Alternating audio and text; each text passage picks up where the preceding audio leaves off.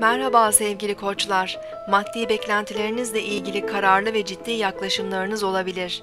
Banka ve kredi ile ilgili girişimler yapmak isteyebilirsiniz. Ancak bireysel kararlarınız aile üyeleriyle bazı fikirsel çatışmalar yaratabilir. Hızlı karar vermeden önce bir kez daha düşün. Bugün 8 Temmuz 2014 Salı, Mars günündeyiz. Sabah saatlerinde Satürn'le kavuşan Akrep Burcu'ndaki Ay, ciddi ve karamsar duygular yaratabilir. Ay Akrep Burcu'ndayken cinsel organlar, idrar yolları, böbrekler daha hassas olabilir. Bedenimizdeki bu bölgeleri daha fazla korumalıyız. Kronik sorunlarda artış olabilir. Bugün Yengeç burcunda ilerleyen Güneş, Koç burcundaki Uranüs'le kare açı yapacak.